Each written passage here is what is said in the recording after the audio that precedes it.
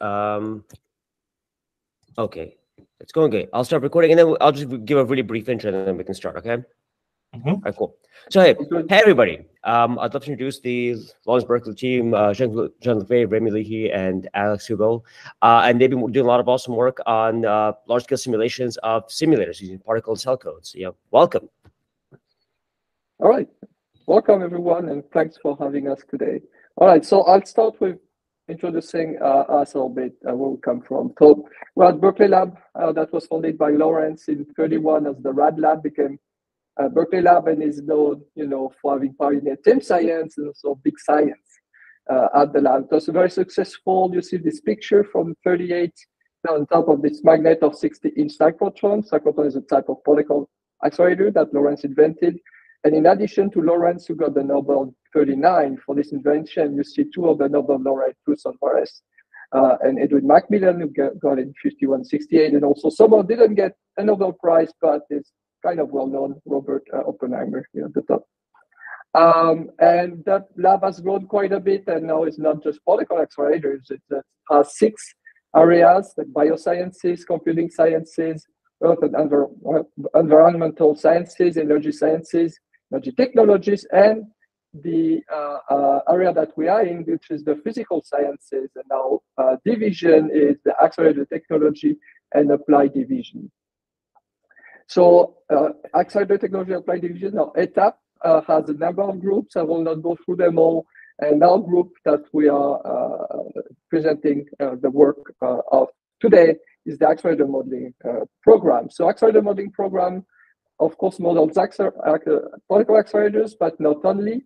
It also models plasmas, beams uh, of particles, as well as lasers, the interactions together and with materials, and we do also fusion reactor uh, science modeling. Um, so the AMP program offers a broad range of computational tools and uh, tools and expertise. You see the team here, seven staff. We have four postdocs now and, and four students at the moment. We are a multidisciplinary team uh, uh, and a range of activities with applied math, physics, software engineering, programming, machine learning. So basically, we do everything from the fundamental equation, discretization, the algorithm, the analysis, the programming of them, then the simulation, and so on. So there's a broad range of physics and application that are modeled in the code, and, and uh, Axel will tell you more about the beam plasma and accelerator simulation toolkit that we maintain. Uh, one of our originalities is that we uh, also develop algorithms, and we have a number of original algorithms that will not be the focus of the talk, but is one of the very important uh, activity of us. And we're also leading multi-institutional projects across the Department of Energy.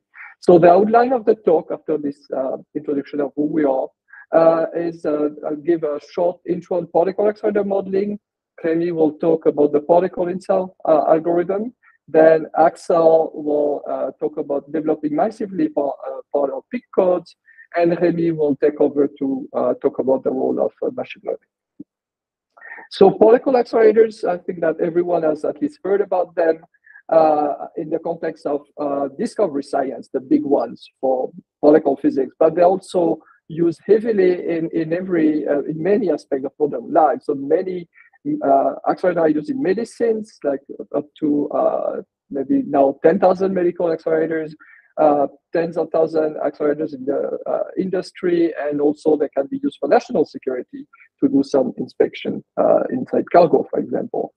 Uh, there are many types of particle accelerators, and we'll discuss on the quickly two types here that are the most common, or at least the, the most high performance ones.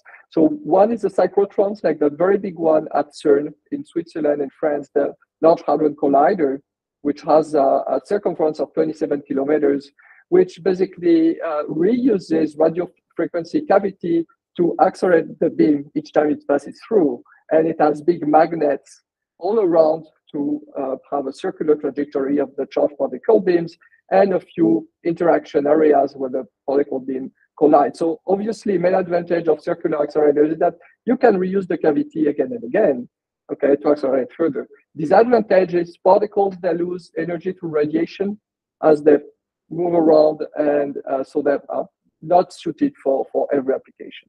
So alternatively, you can have linear accelerator, where uh, now you uh, have a beam uh, that enter one end, and you have the uh, electric field that uh, oscillate at a given frequency, so that it's always accelerating wherever the beam goes between cavities, and it has basically advantages and disadvantages compared to the other one. But they, uh, one thing they share in common that can be very big. Biggest one is at Stanford and is about two miles long. So uh, the accelerating field in conventional accelerator is limited, and that's the reason for them being so big because uh, you need to have many cavities, you know, and, and large sites to accelerate uh, to a given high energy.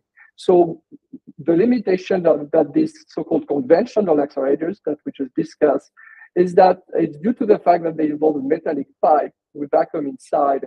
And if you have a large electric field, we try to have as large as we can uh, inside a metallic pipe, then eventually you extract electrons from one end of the pipe, and then you have some breakdown, and that, that leads to uh, uh, issues of several kinds. So possible solution to reach higher accelerating fields and thus more compact, more powerful, uh, more efficient accelerators is to use uh, plasma. Um, um, so in plasma uh, accelerators, a driver beam generates an accelerating wave. So what the, the, what it looks like basically you will have what's called a driver, uh, so laser pulse that enters a plasma column, and at the exit it will have accelerated an electron beam. So you see here a picture from a simulation where you see the, the laser pulse that is propagating in the plasma. So the plasma is a collection of protons and electrons. It's a gas that has been ionized, basically. And uh, the laser does not perturb the proton much, but it pushes the electron aside okay? Uh, and the electrons then still, uh, you, you have the protons that stay unperturbed in the middle. So the proton that are positive create a, you know, a field that attract the electron back, and you have this formation of a bubble here, and the electron cross eventually at the back. And uh, if you put now electrons, you know, that are these yellow particles, they will fill an electric field that comes again by the, the combination of the electrons and the protons that are separated specially that accelerate them. Okay, and this all moves close to the speed. I mean, to the it goes to the speed of the laser in the plasma, which is a little below the, the speed of light. But the electric field that you get here is orders of magnitude stronger than what you have in in, in uh, conventional accelerators. So the the hope is that if you see here, for example, the SACLA accelerator in Japan to accelerate to 8 uh, giga electron volt, you need about 500 meter of radio frequency cavities. Uh, if you see now the world record here at Berkeley at the Bella Center with plasma accelerators, then it uh, accelerates uh, 8 GeV over 20 centimeters of plasma. Looks very promising. however, the catch there is that plasma accelerator is still largely at the research stage because we need to do improvement in beam quality, shot-to-shot stability, energy efficiency to catch up on the basically where they are on the conventional accelerator. But it's it's it's a fast-pacing technology, so very promising. So for this, we need a lot of simulation, and I'll take uh, Remi uh, take over here to tell you more about this. So, question. So uh, th- this yeah. seems oh, yes, core sure. to the uh, with the problem you're about to do. So, as I just understood it, you have a linear accelerator, you have an electric, you know, a metal plate, a metal plate. You you turn on the uh, what's called electromagnet. The particles pass. You turn on you turn on the next electromagnet. Particles pass. You turn on the next electromagnet. That's how it normally yeah, works, that, right? That, that that's yeah, schematically yes, that's right. Okay, and if it's a circular, then you will do, do the same thing, but now they're passing by the center yeah, over and you over. You reuse, you reuse. Yeah. yeah, that's right. And here with plasma ones, as I got, it was um, you have you have a big soup of protons and electrons. You, at a high frequency, push electrons out of the way, and I guess they come back, and out of the way and back, and out of the way and back. So you create these electromagnets where you have this void where you have charged, you know, more protons, fewer electrons, or maybe the other way around if you push them somewhere else. Uh, and you can just say void, no void, void, no void. And every time you have a void, you have you create a magnetic field. Is that roughly right? Yeah, well, right. With with with maybe uh, uh, one caveat, which is that actually you stay when you say void no void you have this void which actually propagates just like a boat on water that creates a wake right? You create bubbles. You- Exactly. And so this propagates at the speed of light. So if your electrons go also close to the speed of light, they can stay in, in the first, what we call bucket of you have this electric field that just propagate forward, right? oh wait, So I was Yeah. imagining the path of electron, the path of your particles, laser pushing this way. No, no, no. It's the same way. So you have a moving bubble that your particles sit Right, inside of, but it has to be like right. a speed of light kind of punch. that's right. That's right. I should have put a yeah, I should have I don't know if we have a movie later that shows that, but uh, That- that helps a lot. Yeah, but it's basically it's as if you were here looking at uh, something with a, a moving window, something that follows the laser, and it stays like that, like that more or less for the length of the plasma column here. And you Ah, have the okay, so uh, okay. pretty much the So this basically you will trip see that is one bubble. yeah. Yeah. Oh, exactly. and that bubble, as I'm now getting, it maintains the magnetic field because that gradient between the the more protons in the bubble, uh, uh, Yeah. more electrons outside the bubble, that property stays That's through right. the entire process. Oh, does the bubble? right. So the par- particles inside the bubble accelerate. Does the bubble accelerate too? Because it has to keep up with the particles. Yeah, so okay, that's that's excellent point because actually since you accelerate the electrons, eventually they go faster, you know, and Mhm. so this is what we call slippage. Eventually the electron beam will overtake the laser. So that's why this column will have a finite length.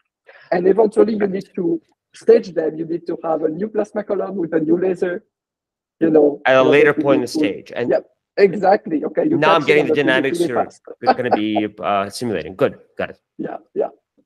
Okay, so I'll stop sharing now and then uh, Remi, uh, go ahead for the for the next. I'll, I'll try to share uh, just a second. Can you see my screen? Yeah. Okay, sounds good.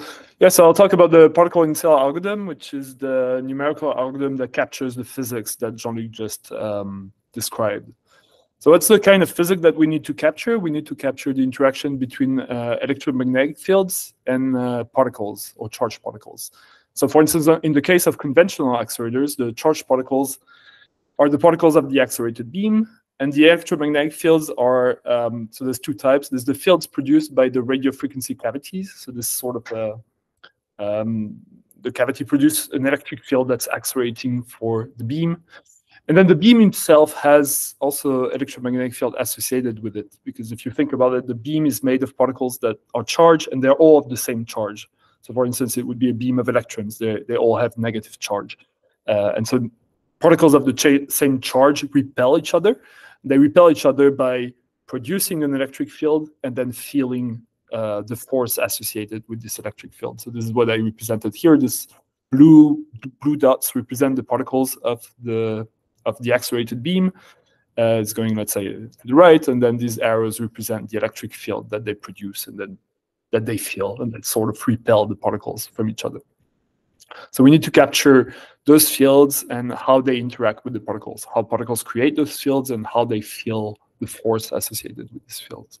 And then in the case of plasma-based accelerators, the charged particles are, again, the particles of the accelerated beam, so it's the yellow particles here, and then also the electrons and ions of the background plasma um, that are represented in blue here. And then again, there are electromagnetic fields. The laser pulse itself, which drives the bubble, the laser pulse is also an electromagnetic field. If you know, if you're familiar with the physics of uh, lasers, you will know that they're an electromagnetic wave. So they're they're an oscillating uh, electric and magnetic field that propagates in space. Then there's the fields in the plasma wake. So the, um, as Jean-Luc said, there's uh, a difference between number of ions uh, or protons and electrons here, and so that creates electromagnetic fields. And then again, there's the repulsive field, field uh, within the beam. Uh, and so again, we need to capture all of those fields and their interaction with charged particles. Um, and so this is what the particle in cell uh, algorithm tries to do. Uh, in the particle in cell algorithm, we represent the electric and magnetic fields on the grid, which is represented in, in red here. Uh, and then the beam and plasma particles are represented by discrete particles represented in blue here that move through the grid. Uh, and then what the algorithm does is it computes the time evolution of the system. Uh, so in the case of laser plasma acceleration, for instance, it would be, it computes the evolution of the system as the laser is propagating through the plasma column. Uh, and so in this algorithm, there's always a, an initial initialization uh, step where we set up the problem, and then we compute the time evolution of the system with discrete time steps. Um, and at each time step, we update the fields and the particle. Uh, for the fields, we update them using the Maxwell equation. Again, if you've taken physics, you will know that the equations that give the time evolution of the electric and magnetic fields uh, are the Maxwell equations. They, they look like this. They're a standard uh, partial differential equation. And then for the, the, beam and plasma particles, we use the equations of motions. So, um, this is the force as you did with the electric and magnetic fields and tells you how the momentum and position of the particles uh, evolve. And it's important to use the relativistic, so the, the equation of motions that include relativity in particular, because we're going to push those particles very close to the speed of light. So the equations of motion need to take into account the fact that particles cannot go faster than the speed of light. Um, and this is into, taken into account by this term here. Um, and, and, so you'll you'll see that the, the, those two systems are um, interdependent because the particles create fields. They create fields because as they move, they create uh, small electrical currents. And so this, this term that contains the density of electrical currents created by those charged particles. And so that feeds into the time evolution of the fields. And then the fields feed into the motion of the particle through that force that contains the electric and magnetic field. So we really have to uh, evolve them together. And so the particle accelerator, uh, the particle and cell algorithm does this by using this uh, loop. So at each time step, we're going to do those four operations. Uh, the first operation is that we're going to gather the, the electric and magnetic fields that are known on this red grid. Uh, we're going to gather them on the position of each of the particles. So each of the particle will do some interpolation to know the value of the electric field at their position and magnetic field. Then we'll use those fields to update the position and momenta of the particle using the equations of motion. And then once the particle have been updated, we compute the charge and current density on the grid. So this term J that I was pointing to in the Maxwell equation, we need to know it on the grid. So each particle will uh, contribute contribute to uh, their neighboring grid points. And then we use this J to uh, to update the electric and magnetic field uh, using the Maxwell equations. So this is a, an algorithm that works very well, but it can be very computationally expensive. Uh, typically, the number of computational operations scales like the number of grid points times the number of time steps. And the number of grid points is simply the, the volume of the, the system that of the physical system that we're uh, simulating. So the volume would be Lx times Ly times Lz, uh, divided by the volume of a single cell in the grid. So the, the cell size is dx, dy, dz. Uh, and so in the case where we need to resolve sharp features in, in the wake, in this bubble, we typically need very fine cell size. So dx, dy, dz are very small. And so as a consequence, the number of grid points will be very large and that will be very expensive to compute. And then similarly, the number of time steps can be very large as well. So the number of time steps is typically the, the duration or the time of the interaction. So the duration, the physical duration that we want to simulate. Uh, for us, this would be the, the time it takes for the laser to propagate through a meter scale uh, column of plasma. Um, and then the time step uh, of the simulation is typically determined by the fastest phenomena. And in our case, this is the uh, electromagnetic, the oscillation of the electromagnetic field in the laser. So the laser is typically micron scale wavelength. So that corresponds to a very high frequency of oscillation of the electromagnetic field. And so we that imposes a very small delta t. So similarly, this uh, ratio of the, the, time that we need to simulate divided by this the time step that we need to use can be very large. So for those different reasons, the, the computational cost of this algorithm can be very large. There's several ways to overcome this problem. One is to improve the algorithm, so come up with um, fancier algorithm that uh, that beats the scaling in some way or, or another. So this includes using ge reduced geometry. So for instance, cylindrical geometry instead of a Cartesian geometry for the grid. Uh, mesh refinement, so focusing the resolution, like having finer cells around the features that are very short or using an optimal Lorentz frame. So that consists, instead of modeling um, this whole phenomenon in the frame of the laboratory or in the frame where we live, we, we use a different Lorentz frame um, where things are a little bit easier to compute. And so I, I, I, won't. This talk won't talk too much about this algorithmic uh, improvements. Instead, we'll focus on high performance computing, which is the other solution to to be able to carry out those very out uh, those very expensive simulations, and that includes uh, using massively parallel code and uh, leveraging the power of GPUs. Um, and that's uh, Axel's part, so I'll stop sharing. And actually, maybe at, at this point, uh, just mm -hmm. to get a flavor for the, the this problem, it sounds like you, are going to have a, a, discrete mesh kind of mm -hmm. a mm-hmm. thing for the fields. You're going to shove particles of what plasma and the accelerated particles into yeah. that mesh Exactly. And now you have particles within the cell interacting, uh, particles across cells interacting. Like, what's the interaction pattern? Yeah. So typically, particles within the same cell don't interact very much. Yeah. it's more like in between cells. Yeah. So the, this this method carries the the interaction in between cells. Ah.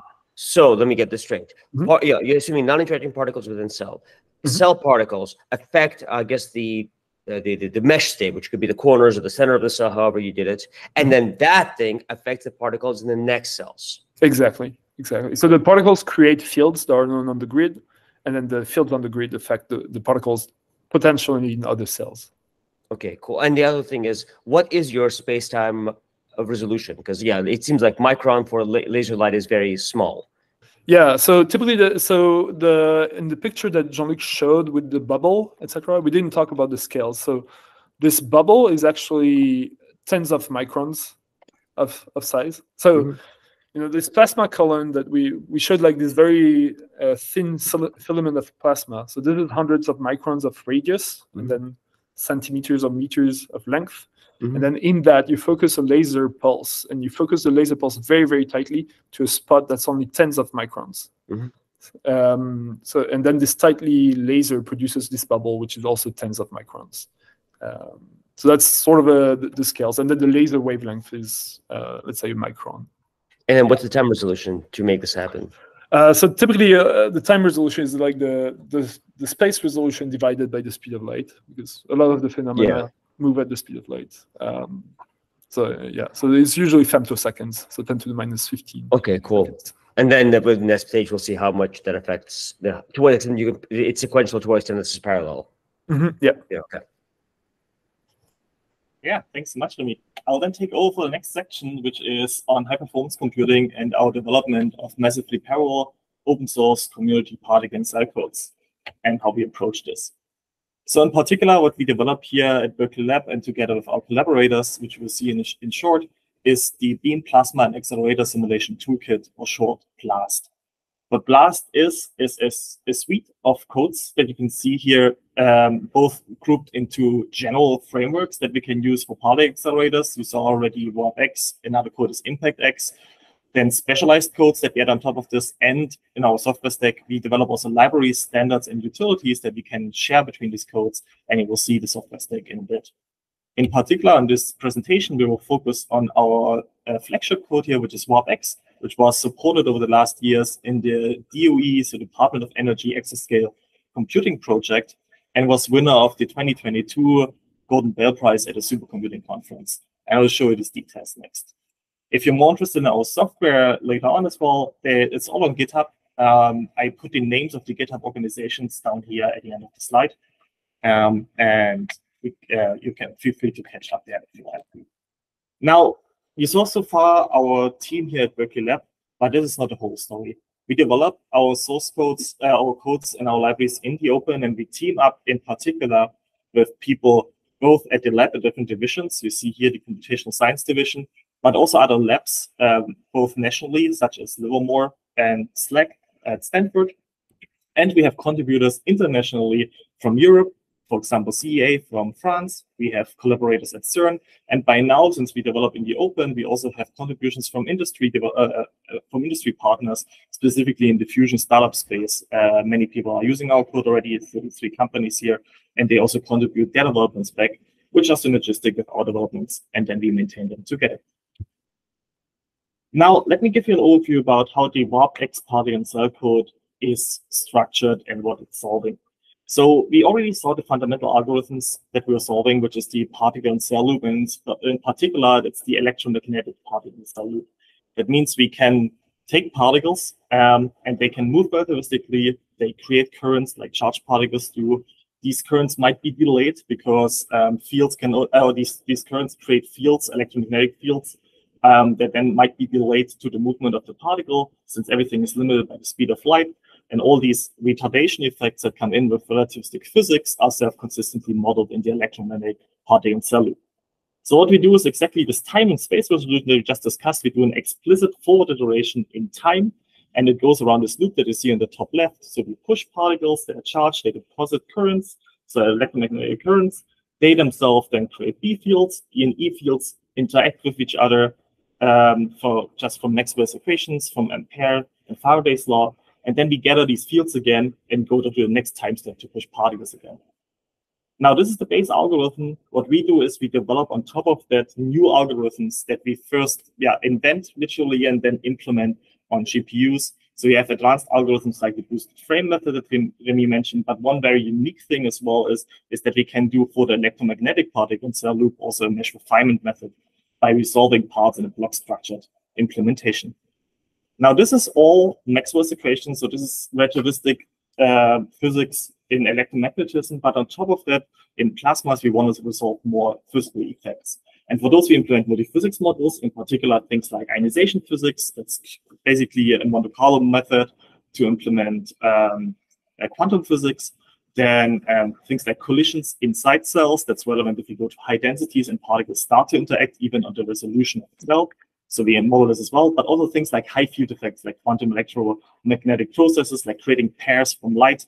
Um, these are things that we model with Monte Carlo steps inside this uh, particle cell loop. For, for modeling our accelerators, we sometimes can assume efficient geometries. So of course, the world is 3D um, in its in its movement. So most of the time, when we have a general new scenario to explore, we have to do 3D modeling. But sometimes if your geometry allows it, for example, if everything is nearly cylindrical geomet uh, geometric, you can go into a quasi-cylindrical representation. And what we do is we have an implementation for that is basically at the cost of a couple of 2D simulations, but can solve uh, movement way more efficiently. And we can go lower, like proper planar 2D uh, geometry and 1D geometries as needed for quick exploration.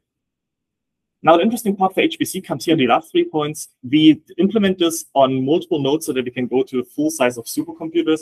And in fact, we are computing on the largest computers in the world as measured by the top 500. Um, we have to implement things like dynamic load balancing, which I'll show you a detail later on. And on these individual nodes, then we have nowadays multiple GPUs. So now we by now we have like uh, supercomputers with up to eight or more GPUs per node. So these GPUs individually have to be programmed this be parallelly programmed, and we use different programming models, HIP, and SYCL to address those. And we can still compute on CPUs by using things like OpenMP. I'll show some details in, in a minute. And then to round it all up, since we're modeling uh, with input to output and data analysis, we have scalable I.O. that can actually then process um, and help us to analyze the data that we're producing by running on really large scale on supercomputers. Now, I mentioned already that we have GitHub repositories. We have a strong drive to develop openly with the community. So our codes that I'm presenting here, they all have uh, actively maintained and in lockstep developed documentations on Read the Docs. We have an active uh, CI system that compiles and runs on every system we can we can integrate automatically before code progress get merged. So we have hundreds, literally hundreds now of physics tests that run on every code change of our codes and um, and also the platforms that we target. And in order to deliver our whole software stack to our users and developers, we use extensively package managers um, to get them either on the development machine or on the HPC machines. And there are typical things from the Python space that you might know, like Conda and pip. But then we also have uh, package managers like Spack um, that are not only useful for development machines, but can also be deployed behind firewalls on HPC machines um, for whole software stacks and build your build variants for different GPUs or CPUs, whatever your very specific HPC machine has provided. Now, let me talk a little bit about a challenge that we faced in the last two decades. Um, and unfortunately, this challenge started roughly when I joined HPC, so in the mid 2000s. So the challenge that we saw here is that if you look back over the microprocessor trends, so CPU trends and, and chip trends uh, over the last decades, we see that basically performance just came out by getting more and more frequency out of the same chips. So in the ideal case, you could really just say, take the same code, run it again five years later, and it's just significantly faster due to this exponential scaling thing. Now there's a challenge that in mid 2000s this changed, and the reason for that is, is that you basically could not pump more and more watts into a single chip. Or the other way around, you could not get it out anymore in terms of heat, so you would start to melt the little surface you had for those. And the, the response for that was frequency were dropping, and with that, at the same time, you see this bump in single thread performance. It's not totally bumping the same way as frequencies because there are still things like vectorization that could be tricked upon. But in the end, single thread performance just tanked. And so the industry trend changed in order to still deliver further uh, efficient uh, computing chips. And what happened is that we got a huge number of logical cores to compensate for that and to still keep growing in chip performance that we can use for computing. Now, this is what some people call then a Cambrian explosion of computing architectures, because in order to deliver these logical cores, you could either try to advance existing legacy architectures like x86 and try to get more out of this with more uh, intelligent protocols. But there are also other chips like evolve of, of Power, uh, architectures that continue to push. And then we had like ARM popping up over the last years, first for mobile space and also into HPC now. And then, of course, a huge variety now of three major dominating implementations of GPUs for compute, first with NVIDIA, AMD, and Intel um, making the race here. And now the trick is for us, unfortunately, that all of these are not programmed the same way. Now, let me give an overview how a supercomputer looks these days. So with these, if we go to an HPC machine, we might encounter any of these chips. And our problems are so big that we want to distribute them over computers that have multiple of these chips. So the first thing we do is we take our simulation domain on the, on the left and we distribute it over these tens of thousands of computers on a supercomputer. Luckily for our problems, we can domain decompose them. That means we slice them up spatially and then have these little gray areas around them that are basically neighbor information that we have to exchange between every time step. And then we can ideally overlap compute and communication to a certain extent. But otherwise, these computers or these individual chips get their own problem. Now we have this decomposition here, and then we have inside those, effectively, if we multiply the number of cores in a GPU with tens of thousands of computers, you have up to millions of cores to compute and parallelize your problem on. So the loop that I showed you earlier. And we can do this in different ways, but specifically there are a few things that scale better. So you want to do a certain amount of tiling for CPUs and have vectorization on. While for GPUs, which are also vector machines, you want to tile in a different way rather in large blocks that are executed in parallel and where you want to feed hundreds of thousands of threads basically into efficient computation. So these are our two major architectures. But at the same time, we have to be aware that these things that are currently accelerating our computations in the node might be in the potential future be replaced or be complemented by other things, like maybe FPGAs become coprocessors as well. And so we have to always be aware how can we program things so that we don't have to rewrite our whole code bases just because a new architecture is coming around. Um, so how do we do? Yeah, go ahead. Are, are the uh, ML focused uh, processing chips useful for your kinds of codes? I'm thinking they, they do things like matrix matrix multiplication, but only at 16-bit precision. So not quite what you want, but is it usable? Yeah, we, we explored this already quite a bit um, since they came out. The change initially was the precision was initially way too low. Um, that didn't help much. The recently and latest chips, they have support for at least for half precision, uh, for single precision, and for sometimes for double precision. That's helpful. The challenge that we have is that our operations that we showed in the particle and cell loop, they are not dense uh, linear algebra. So mm -hmm. we usually have a lot of zeros in there, and that makes it pretty challenging. Um, we found a couple of, right. we explored with both with gather and scatter operations, so specifically like the field gathering and also the current deposition parts, um, but there's too many zeros currently in there. And another challenge that you have is you have to pack your data structures before going in and out, which adds another overhead. So you have to pack into the vector or the matrix uh, format and unpacking them again, which then is just at the brink of not make, making it worth it right now. And that's notably worse than for GPU, which has some of the same flavor of challenges. Yeah, no, we, we only tried it with GPU with GPU um, ML uh, uh, matrix operations. Yeah, matrix matrix. So we didn't try it with specialized uh, chips. We looked into GPUs for now. Yeah. Got it. So then for implementing our, our actual physics routines, um, we have now this, this uh, huge set of hardware, and each of them unfortunately come with their own programming model.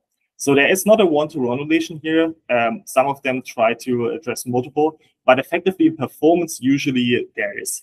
So you have NVIDIA CUDA that only runs on NVIDIA CUDA hardware. Uh, you have ROCm HIP that runs only in AMD. Um, and you have SYCL that is primarily developed for Intel, but is also trying to spread out to other architectures quite successfully. Now, there is a slight difference here in the programming models. Some of them are ideally suited to C++, which we take uh, for our implementations, and others are more Pragma-based.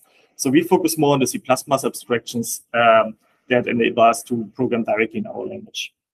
Now, software stack is basically now to come down to this level of hardware is, uh, is developed as following. We have message passing, which is the inter-node communication. So from one GPU to another, from one node with four GPUs to another. We have in-node acceleration, where I will show you a detail on the next slide, which is the abstraction, so that we only have to write our physics once, and then you can compile it at compile time to the right accelerated hardware. And then we add on the higher level things like containers and algorithms, so n-dimensional distributed fields, for example, and uh, then large data frames that are distributed over GPUs on a whole, whole cluster. Then we have math libraries um, and IO libraries. On top of that, only we start implementing our physics modules, both in libraries and then in applications. And last but not least, we do for productivity, but also for binding, for example, to ML frameworks, we have a big layer of scripting and language bindings, specifically to Python, to exchange our data structures on GPU with other frameworks and also being able to set up our simulations effectively and control them as they run, for example, by registering like observers and callback hooks. The implementation I want to show you one detail is the AMReX library that we use because the AMReX library provides us with a couple of functionality. that's interesting for us. I showed you domain decomposition and specifically domain decomposition containers, as well as uh, load balancing routines and block structured mesh refinement are things that AMReX implements. It also implements a performance portability layer, which we'll take a look on the next slide. And it has nice uh, framework capabilities like being able to implement it already bindings to linear solvers or implementing their own linear solvers, for example, for initial conditions or for specific routines that we have, embedded boundaries when we cut through cells and things like runtime expressions. Now, how does the performance portability layer look like? The, when you implement CPUs or GPUs, you usually would go for CPU code and you would try to vectorize it. So either you use specific data structures, you use fixed size loops, you add annotations like Pragma SIMD, and try to vectorize it, small loops out efficiently. That's quite different from GPU code, where you usually want to work on a block structured matter. For example, for CUDA code down here, you have a kernel that you go into and address an index space in 3D, which is then nested into each other. AMD is luckily similar with the HIP implementation, and then Intel with GPUs is again a different syntax. We do not have time to invent algorithms and then implement them in four or five different backends. That doesn't work for us. So what we go for is a performance portability layer that is uh, developed over the last years in AMReX, and there are community efforts to bring this into ISO C++ uh, with similar frameworks that are developed uh, with international partners. And what we do are constructs like a parallel 4 that then abstracts nesting and blocking away and then compiles the lambdas that we put into them. So this is the inner part here or the equal sign for, for example, CUDA, GPU, CPU, and, and SYCL. Now let me show how, how this works in practice. I want to show Wait, you one question. Oh yeah, go ahead. Oh yeah, so this looks very much like uh, OpenMP or many many other things. You know, parallel four with uh, Affinity. Yeah. Um, why not use any one of those, or how is your use case different? Exactly. So the uh, the routines that we need is parallel four implementations, and potentially they are also hierarchically nested um, to have block uh, blocks uh, so blocking algorithms implemented and all things like shared memory addressed efficiently. Um, and yeah, yeah, there's also parallel reducers. So basically what you need is map reducers and maps. Um, these, yeah, the developments that we show here, they started all the same time for C++. So there are a couple of libraries, MRX implements this, Kokkos is another one. And now the Parallel STL and the ISO C++ starts to develop this as well. Um, so they all started at the same time, and now it's going to be a time where they get standardized. And I would say they kind of converged mostly in the same direction, which is a good sign. Um, so yeah, they are, they are very similar. Yeah. Okay, and this step is for on-node parallelism, or can you? Do It's on-node parallelism. Yeah, we have also we also have like abstractions for doing like a reduce on node and then reducing it over nodes. So there's a similar abstraction if you want to do reduce me a scalar from 10 to the 13 particles. Um, yeah. Okay, makes sense. Thanks. Mm -hmm. You're welcome. I want to show you a quick science case, and specifically, we, we, we put our implementation for a cool science case into the supercomputing conference last year.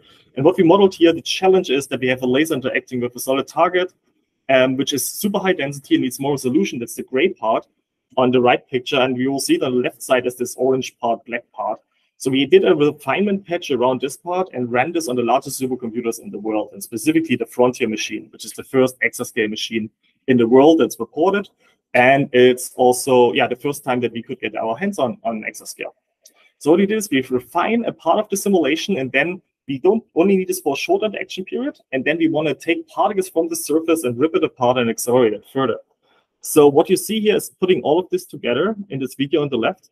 So you have this laser pulse bumping off the surface, ripping out electrons, injecting them into the bubble structure that you saw before, and then propagating to yeah, just forward and forward. And so what we can do is we take this large scalability to even model this problem. We could never resolve it before having this machine. And we can take now the physical effect that we can take out so many electrons out to accelerate them to high charge because many particles, and then to real long length by moving this mesh refinement part slowly out as we don't need it anymore. So this is the physics case that we modeled. And the uh, um, we have more details in this paper, but the interesting part for HPC is the following in this slide. It's that we can stay efficient as we increase using more and more nodes. So on the following slide, I show you scalings from going to the full system side of over available nodes, which is going over five orders of magnitude in some cases. And it goes to the biggest machines in the world. Frontier is a GPU machine for AMD GPUs. Um, in Oak Ridge, Fugaku is the largest CPU machine on ARM CPUs in, in Japan. Uh, Summit is a, and Perlmutter are NVIDIA GPU machines. And what you can see here is in the scaling is that when we increase the computing needs, so more resolution and linearly increase also the number of nodes to compute on that, we will stay pretty high to this ideal line. And that's exactly what we try to do. But at the same time, we can compute significantly larger problems. And so we can basically down, do now 500 times larger problems than we could do in 2019 when we started this problem. Now there's another direction you can measure. It's what we call strong scaling. And what we do here is instead of de decomposing further and further a problem, we actually reduce the problem, uh, keep the problem constant and just increase the number of computers that work on it. And this problem actually does only scale so far, so like one or two orders of magnitude, because at some point, if you just try to get your result faster and faster without giving more compute uh, to the devices, you will just underutilize the machine. Nonetheless, we just measure this here, and you can see we can still get up one or two orders of magnitude of speed up if you're willing to get a drop in efficiency at the end, which you always have to calculate if you want to do this. So strong scaling is not our primary motivation. It's weak scaling, bigger problems, and bigger, uh, bigger resolution. And with these bigger problems, we can solve really things like having high resolution, but also doing more physics in it, like doing 3D problems that we could only do in 2D before, resolving new effects in physics, adding new Monte Carlo effects that I mentioned, and so on. Now, in order to wrap up the HPC section, I think that we will slightly over time, I will, I will wrap this up with this last slide. I want to give you one selected challenge because what I showed you so far with composing over supercomputer was just a very simplified picture. So in reality, the plasma interaction, and here it's a laser pulse not shown, but interacting with a plasma target over time from left to right, you see these very intense uh, surfaces here, and you have like, okay, there has to be a lot of particles suddenly on this front surface going into the plasma. Somewhere else, there's no particle at all. This clearly creates an imbalance in computing need. And so what we do in reality is we do not create one box of domain decomposed section that we put on a supercomputer GPU, but we create actually the over decomposition of, let's say, four to 12 boxes that we put on one GPU. So we slice our problems up with a slight over decomposition, as you see in this color full map here. And then we basically assign more work where there's less particles specifically to GPUs together. And if there's a lot of particles in one box, then we just give it to one GPU and let it crunch for its own. So what we did recently for this uh, for this study is we as we we in order to create this mapping on the left hand side, we need to estimate cost. And what we recently did is we did an estimate of cost specifically on GPUs and measured this um, in situ as the simulation is running, so we can update how many CPUs or GPUs are taking how many boxes. So updating the left hand picture dynamically over time. And so what we found is a new way to measure this efficiently in situ, um, how the cost is uh, evolving as particles move and create these very violent structures. And what we were able to do with that is actually do simulations that would otherwise just run out of memory in the first place because suddenly all particles end up on the same GPU and 10,000 GPUs wait for this one GPU. And at the same time, since we balance better, we can also do faster. And this is one thing that we measure this device side cost. With that, I will close the HPC section and we go into ML. Remi, do you want Well, to take let over? ask one Yeah. last thing here. Yeah, I will Um, share my so- screen in the meantime. Yeah. Mhm. So you were uh, what you're doing is not like an AMR. It sounds like it's a hierarchical decomposition scheme where I, I didn't quite get how you make it friendly to GPUs and how do you uh, make sure that it's actually properly dis- distributed? Yeah, that's a great question. So the so our mesh refinement system or uh, scheme is block structured mesh refinement. Mhm. So e- effectively, you already have uh, blocks that you domain decompose on GPUs, and you try to keep them relatively large. Inside these blocks, we have multiple fields: scalar, vector, tensor fields. These we basically have uh, already tiled, and that's that's they're just multidimensional fields. The particle structures is the one that's more tricky. So particles for us are the, basically tables or data frames. So they are basically a structured arrays. And in order to process them efficiently, we tile them further. So usually we do fixed size arrays for individual properties, collect them then again in a struct, um, and then have multiple of them depending on how much particles move between one GPU and another. And how often do they end up moving? Oh, all the time. Okay. They move depending on the algorithm. So the maybe particle cell code, they move one cell per time step max. But um, depending on variations that we do of the algorithm, they can also move multiple cells. But they won't go from the top left to the top right. So there's some Right. locality that we can use. That we can use. Uh, yeah. Got it. Thank you. Sounds good. Yeah, I'll, I'll go to the next section. So um, the role of uh, machine learning. How can we use machine learning to improve our work workflows? So there's a lot of things that we could do with machine learning, but our group currently focuses on uh, surrogate models.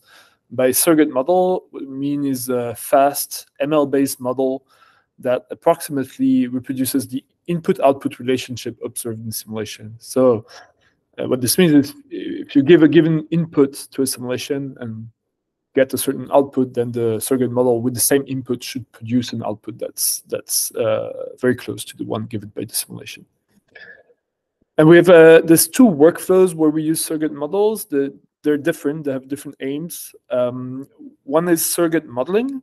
Uh, here, the idea is to train a, a very accurate surrogate model using large amounts of simulation data and then we use, we can then use the surrogate model instead of the simulation in cases where speed matters. For instance, in real-time operation of, of accelerators, if we want to quickly have some prediction that the operator can use uh, while operating the accelerator. Uh, another workflow is surrogate-based optimization. Here, the aim is to explore a large parameter space. For instance, the parameter space of all, of all possible designs for a given accelerator. Um, and we explore this parameter space with simulations, and then we use a coarse surrogate model that was trained on a limited amount of, uh, of data, basically the, the simulation that were run up to now during this optimization. And then we use the surrogate model to suggest promising parameters to try next or to simulate next.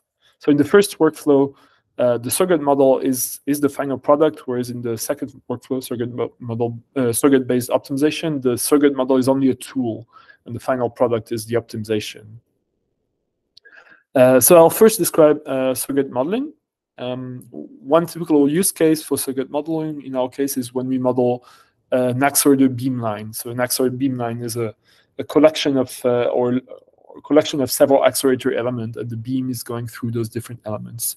So, uh, for instance, an accelerator beamline would um, contain a plasma source that creates the the beam of particle to be accelerated. Then there would be some transport sections, so typically devices that focus and condition the beam.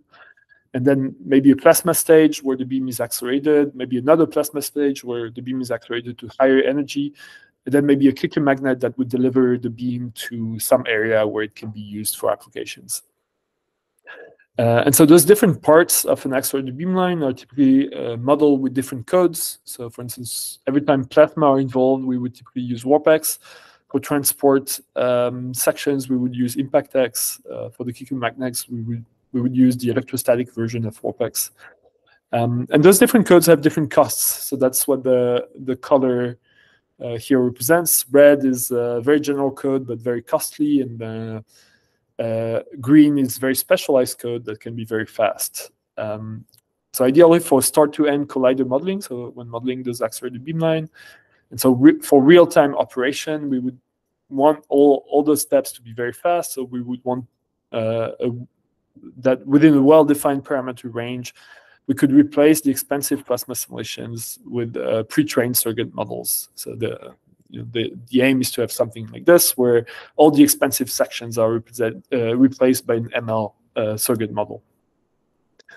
So what what what this uh, what would this ML surrogate model look like? So typically, what is important to us is how the beam evolves. So how the different particles of the accelerated beam change, how their position and momenta change.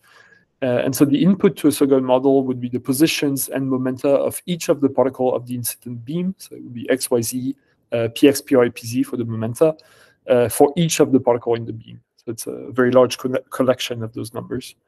Um, and then the so this would be the input to the surrogate model, and then the output would be the position and momenta. So the same quantities, but uh, at the end of the stage. So position and momenta for the the beam that has now been uh, accelerated.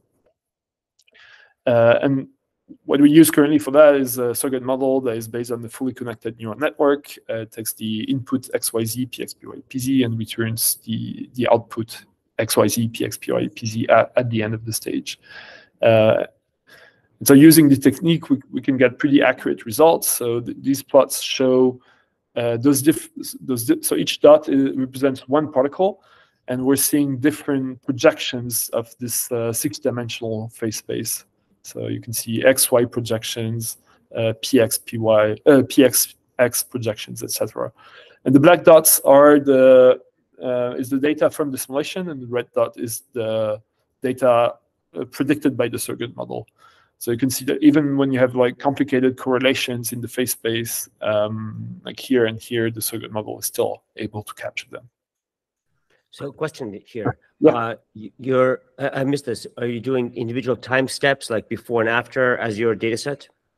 Uh, so the simulation itself would be would be doing many many time steps, but the surrogate model just takes the input and then gets the final output. So the aim is to avoid all of those time steps because this is compute. this is Okay, so then do you have a way of guiding it to be more physical? Like, I, I guess what invariant is like if you do to every time step, you sort of force it to do to be more physical, Mhm. um, or conservation of energy or anything that you uh, enforce constraints like that.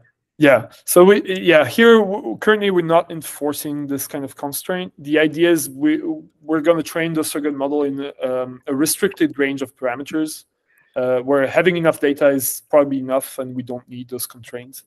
Um, so yeah, that's the idea. But, but you're right. There there are many. Um, there are many works in, in the literature where they explicitly try to enforce certain constraints uh, by you know having certain archi- architectures in the neural network or um, yeah using certain techniques. So that's Okay. that's definitely a field that's that people are working on. Okay, that makes sense. the second workflow that i was going to talk about is surrogate based optimization. Um, so here the aim is to optimize a given design so a given design for an accelerator so for instance for this uh, laser plasma accelerator we have different design parameters such as the value of the gas pressure inside this plasma filament uh, the energy of the laser that we send in here uh, the position uh, within this uh, plasma where we focus the laser pulse uh, etc so we need to choose a combination of those those values so as to reach so as to maximize a given objective. Typically, this would be, for instance, for us the the final energy of the electron beam that has been accelerated, or maybe some other quantity like the total number, like the charge, the total number of particle that made it through uh, this accelerator. So in, in mathematical terms, we're in a high dimensional parameter space. So we're working with vectors uh, of high dimension of high dimension, where, for instance, uh, the first component of this vector would be the value of the laser energy. The second component would be the value of the gas density, etc. And we want to find the point in this high dimensional parameter space, such as this objective function f is maximized. So we want to find x best, such as f of x best is uh, maximal. What's crucial is we want to do this with as few evaluations of f as possible because one evaluation of f means running a very expensive particle and cell simulation of the laser going through this whole stage and then at the end measuring the beam energy at the end of the simulation. So each each evaluation of f is actually a very costly simulation. Um, and so surrogate model optimization tries to minimize the number of evaluations that you need to do in order to reach the maximum Uh, the idea is to progressively learn the surrogate model of the function that we're optimizing, so f of x, over the parameter space, and then use this model to only evaluate the most promising x. So we're, we're going to use this model to be very careful and only run simulations where we really think we're going to get uh, the best results. So this is how it would look like here. This is only a two-dimensional parameter space. Maybe there's two input parameters. Each of the red dots represent uh, simulations that have already been run. And then based on the results of the simulation, we build a surrogate model of the function f on this parameter space. It's this blue color map. Uh, so for instance, here we would predict that the, the value is very high here. And then we use this model to find the most promising point x0. It would be the point uh, for which the model has the highest expected value. So for instance, here in this dark blue region, or maybe also where the uncertainty of the model is very high. So maybe in this region where we don't have many points, the model predicts a value, but is maybe not very sure about this value, and so it might be promising to explore in this in this area. And then we this gives us a point x0, which is the most promising point to explore. Then we evaluate the objective function using an expansive simulation at this point. And then we add this point and the value that was obtained from the simulation to the data set. We update the surrogate model, and then we continue uh, this this iteration. Um, So it Mhm. sounds like initially you're running the real simulation, and after a while you start using the surrogate model. Well, you never really use the surrogate model because uh, in these workflow, you, you typically have very low amount of data because that's what you're trying to minimize. You're trying to minimize the number of uh, evaluations. So we typically have low amount of da- data, and the surrogate model is never going to be very accurate. But it's accurate enough to give suggestions of where the next simulation should be run. So in the end, the Ah. ground truth is always the simulation, and the surrogate model is just here to advise and to tell you where you might be. It might be a good idea to run the simulation. So it's, that make it's, sense? it's a family of approaches where you learn uh, a approximate differential, uh, a differentiable approximation. You use the gradient of the approximation, so approximate gradient, to guide you for the next sample. But no, yeah, yeah, um, yeah, that's correct. Except we don't exactly use the gradient of the model. We use something a little bit more, a little bit different. That's called an acquisition function. Uh, but yeah, the, the idea is to to use this, get this model, and from this model, try to find the most promising. And the, this concept of most promising point is vague, but there's a an exact mathematical definition using this so-called acquisition function. do you have a problem? This is like an offline learning thing for reinforcement learning, where you learn your you pick your samples based on one version of the model. You keep advancing the model. You pick your samples based on the advanced. So you you bias your search. Do you have this bias thing where the Yeah. quality of your mo- of your surrogate changes in complicated ways over time? Yeah, yeah, no, that's correct. Because because you're only sampling where the model is going to tell you to sample. Exactly. There's going to be some bias for sure.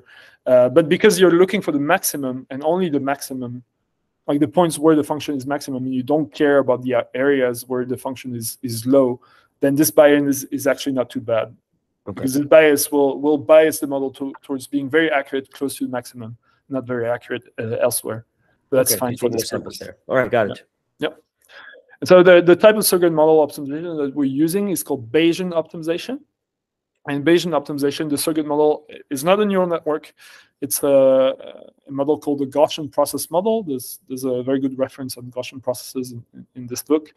Um, the specificity of Gaussian process models, especially compared to neural networks, is that they return a prediction for f of x, and they return also the uncertainty of this prediction which with the vanilla neural network you don't get the uncertainty, but this Gaussian process model they, they give you this uncertainty automatically, and that's important because when I was uh, talking about the most promising point, I was saying this is where the value of f is large, but this can also be where the uncertainty of the model is large. So sometimes when the model is very uncertain about certain area, it might be ad- advantageous to to explore there.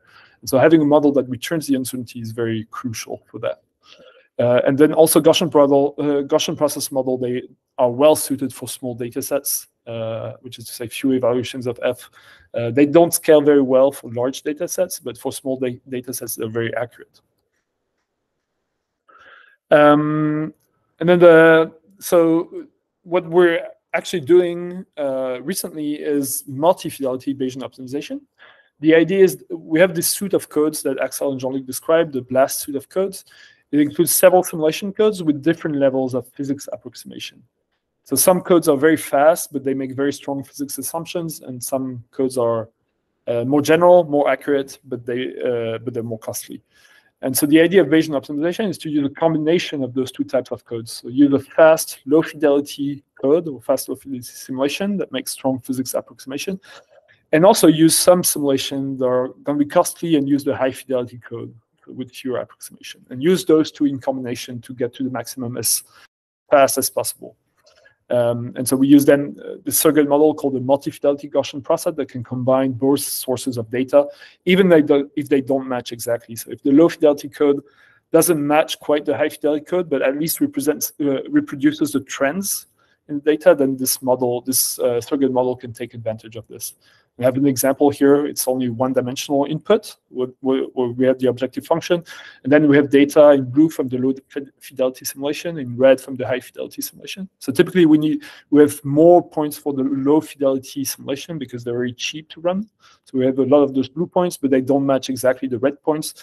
But then this model, the Gaussian process model, is still able to take into account the, the information here from the low fidelity data and make some prediction for what the high fidelity data would look like. And so you can see that this uncertainty that the model also predicts is very low here because of this low fidelity data that was used in this area. So we used this recently to optimize the beam quality in the laser plasma accelerator. Here you can see um, how the optimization um, uh, performs. So you can see the time, uh, the runtime of this optimization and uh, the best value of the objective that we found so far as this optimization proceeded. Uh, and so, of course, we want to find the maximum very fast, so that we mean we want the objective function to rise very quickly as a function of the compute runtime. And so for single fidelity, where we're using only one code, it rises at a certain speed, but then uh, we showed that using this multi-fidelity approach, uh, you can find the objective a lot faster. Um, oh, sorry. And then now uh, I'm coming to the conclusion and the outlook. So research and development is on the way to develop more powerful particle accelerators. Uh, they can have a large impact if successful. Uh, Jean-Luc showed these different areas where particle accelerators are used. And this relies a lot, this, this RD, RD re relies a lot on HPC um, to make progress. And this brings exciting challenges in modeling that uh, Axel showed and, and, scaling to cutting edge uh, hardware, uh, using novel algorithms, AI ML, as I was just talking about before. Um, and then beyond particle accelerator, uh, large-scale particle in cell codes have other applications because in general they can model uh, interactions between charged particles and fields. So any type of plasma can be in principle modeled by particle in cell codes.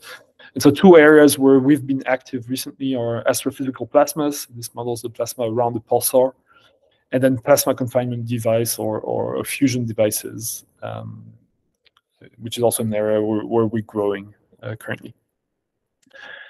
So that's it. I'd like to thank uh, our sponsors, and if you have any additional questions, don't, don't hesitate. Well, fantastic. Thank you very much. It was extremely interesting. Um, I asked a lot, plenty. Uh, are there any? Okay, we don't have anybody else in the call, so yeah, this is awesome. I don't want to take any more of your time. So yeah, have a great day. Thanks. Thanks a lot. Thank you very much. Bye. Bye. Bye.